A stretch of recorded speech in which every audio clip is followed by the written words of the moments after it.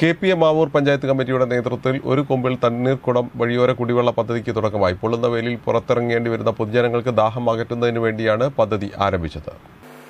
K P A Mavoor panchayat കമ്മിറ്റിയുടെ ആഭിമുഖ്യത്തിലാണ് ഒരു കുമ്പിൽ തണ്ണീർക്കുടം എന്ന വഴിയോര കുടിവെള്ള പദ്ധതിക്ക് തുടക്കമായത്. പൊള്ളുന്ന വെയിലിൽ പുറത്തിറങ്ങേണ്ടി വരുന്ന പൊതുജനങ്ങൾക്ക് ദാഹം അകറ്റുന്നതിന് വേണ്ടിയാണ് പദ്ധതി ആരംഭിച്ചത്.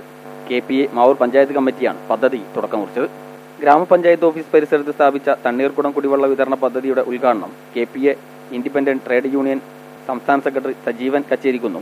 ബസ് സ്റ്റാൻഡിൽ സ്ഥാപിച്ച തണ്ണീർക്കുടം പദ്ധതി കെ പി എ ജില്ലാ വൈസ് പ്രസിഡന്റ് സി സുരേഷ് വളയന്നൂരും ഉദ്ഘാടനം ചെയ്തു. ജില്ലാ സെക്രട്ടറി മൻസൂർ മണ്ണിൽ ജില്ലാ കമ്മിറ്റി അംഗങ്ങളായ മുരളീധരൻ നായന്നൂർ പി കെ ബൈജു എന്നിവർ നേതൃത്വം നൽകി. മാവൂർ ഗ്രാമപഞ്ചായത്തിലെ വിവിധയിടങ്ങളിൽ പദ്ധതി ആരംഭിച്ചിട്ടുണ്ട്. News bureau Mavoor.